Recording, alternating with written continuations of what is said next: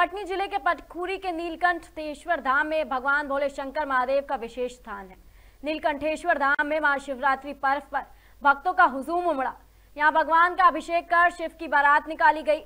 बता दें कि पिछले 35 सालों से महाशिवरात्रि पर्व बहुत ही अनोखे अंदाज और बड़े धूमधाम से मनाया जा रहा है।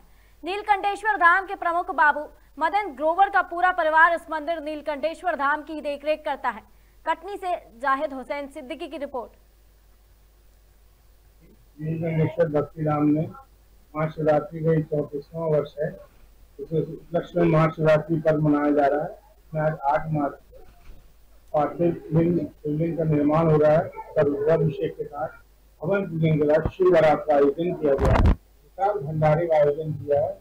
क्षेत्र की धर्मप्रिय जनता है।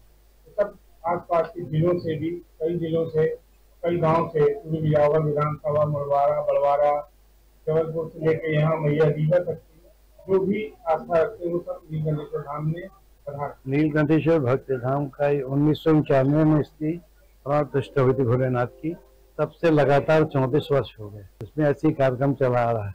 पहले दस दिन का हुआ आज प्रभु की प्रेरणा से दो से बाईस दिन का हो गया। अखंड हमारी चल रही है। अखंड मानस तो आठ महीने से चल रही है।